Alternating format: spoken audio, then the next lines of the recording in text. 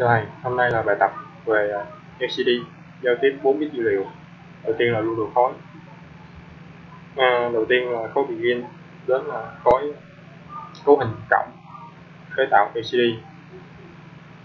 Uhm, đầu tiên em sẽ cho hiển thị tên, mã số sinh viên, delay một khoảng thời gian, hiển thị ngày sinh, nơi ở, delay một khoảng thời gian. Ở đây em sử dụng LCD là 16 x 2. Cái vòng lặp này nó sẽ được uh, lặp lại tiếp theo là phần à, viết chương trình. À, đầu tiên là khai báo thư viện 16F857 à, sử dụng à, uh, thập anh di động bên ngoài tại số 20 m ở à, uh, LCD uh, giao tiếp 4 bit nó sẽ khác với uh, giao tiếp 8 bit.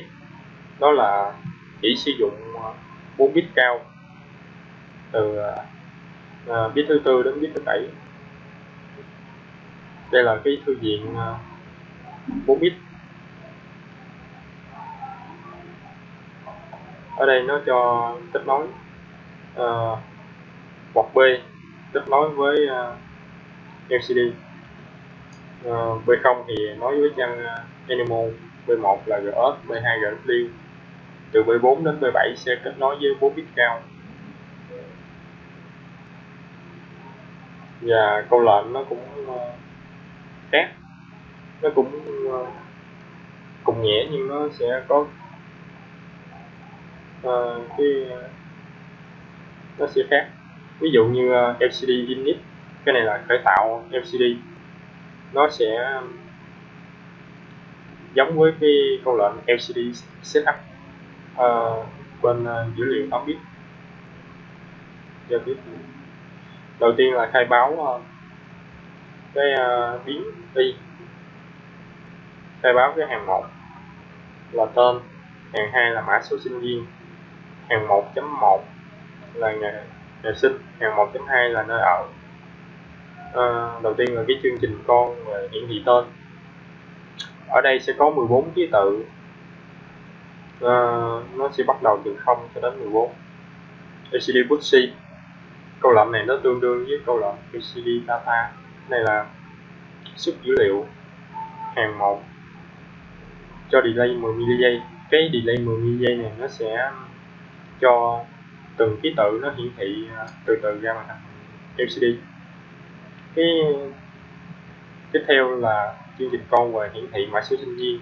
Ở đây nó sẽ có 16 ký tự.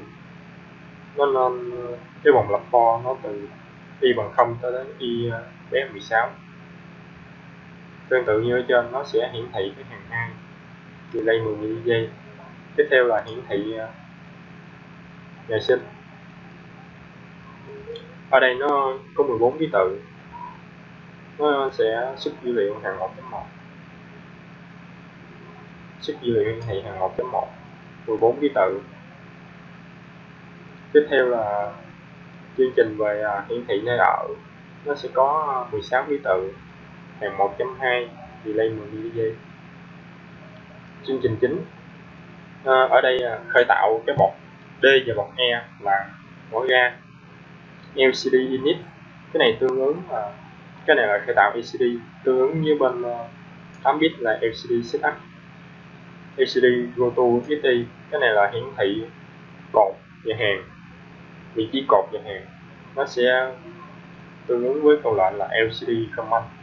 0x80 đây là vị trí đầu tiên. À, đầu tiên là cho hiển thị tên rồi à, cột 1 hàng 2 cho hiển thị mã số sinh viên sau đó delay 100 mili giây à, ờ, cột 1 hàng 1 hiển thị ngày sinh. Sau đó là cột 1 hàng 2 hiển thị nơi ở delay 100 mili giây nó sẽ được ờ, uh, đọc lại tiếp theo là phần mô phỏng.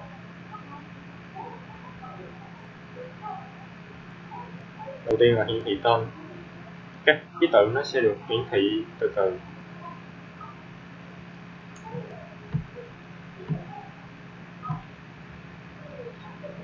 Hiển thị ngày sinh.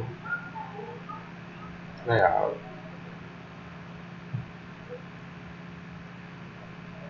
À, delay 100 ms nó sẽ được lặp lại.